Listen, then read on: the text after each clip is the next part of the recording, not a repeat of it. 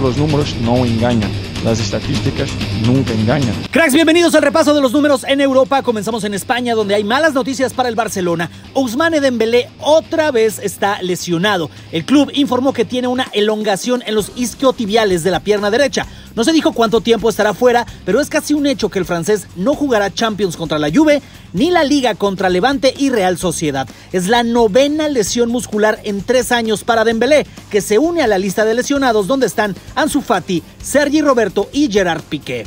En resultados de hoy, el Betis le ganó a los Asuna, Villarreal y Elche empataron sin goles, al igual que el Alavés y la Real Sociedad. La tabla queda así. Atlético de Madrid es líder con 26 y dos partidos pendientes. Real Sociedad es segundo con 25, Villarreal tercero con 21. El Real Madrid aparece en cuarto sitio con 20 puntos y un juego pendiente. Barcelona también con dos partidos menos está en la novena posición de la tabla con 14 puntos. Mikel Oyarzábal tiene 7 goles, es el pichichi de la competencia hasta el momento.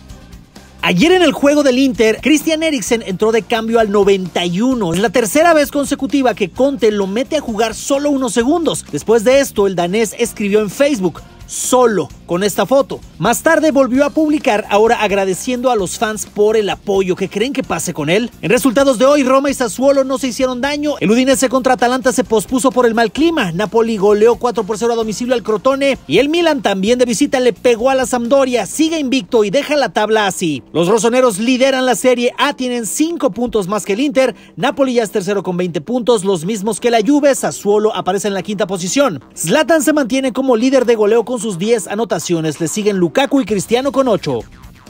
En la Premier League, Leicester le pegó de visita al Sheffield, así festejó Bardi el gol del triunfo al minuto 90. Con golazo de Son y otro de Kane, el Tottenham se quedó con el derby del norte de Londres. Liverpool en Anfield goleó 4 por 0 al Wolverhampton y la tabla queda así. Tottenham es líder con 24 puntos, con mejor diferencia que Liverpool que es segundo. Chelsea está cerca con sus 22. Leicester sigue en zona de Champions, registra 21. United y City ya son quintos y sextos respectivamente. Arsenal está en el lugar 15 con 13 puntos. Dominic Calvert-Lewin sigue al frente del goleo con sus 11 anotaciones. Son, Salah y Bardi van por él.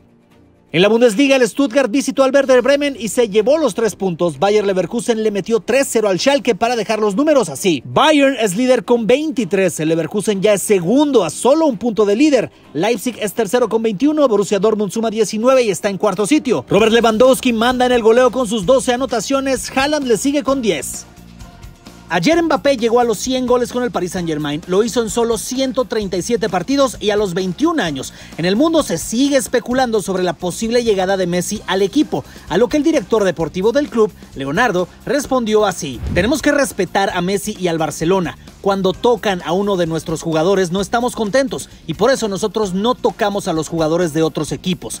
También se confirmó lo que te adelantábamos ayer. El club y José Rodríguez llegaron a un acuerdo para terminar con el contrato del jugador que originalmente acababa el próximo verano. Se espera que el atacante anuncie su nuevo equipo en enero.